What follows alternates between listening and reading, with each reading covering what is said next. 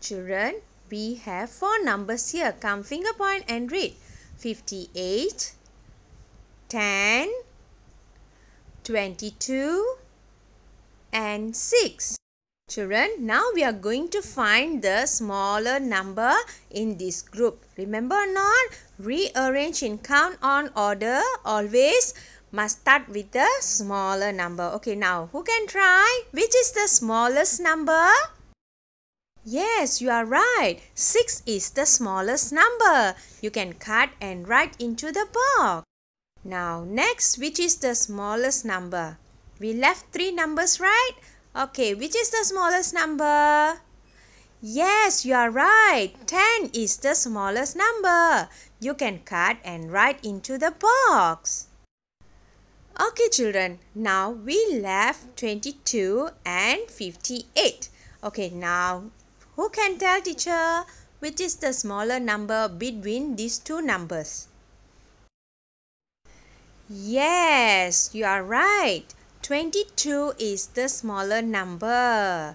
Good, you can cut and write into the box. Now we left only one number that is 58. Yes, okay, now you can cut 58 and you can write into the box.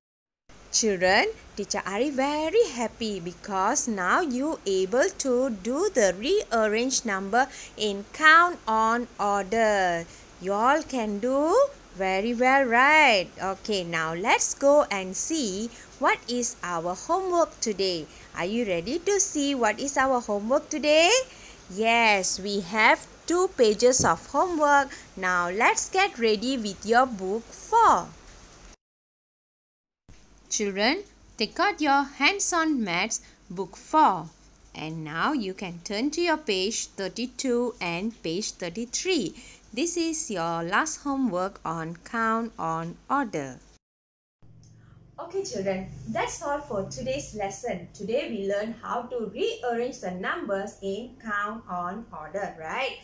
Okay, we already complete our count on order. Now next, coming Wednesday, we are going to learn how to rearrange the numbers in count back order. Yes, we are going to learn the count back order also.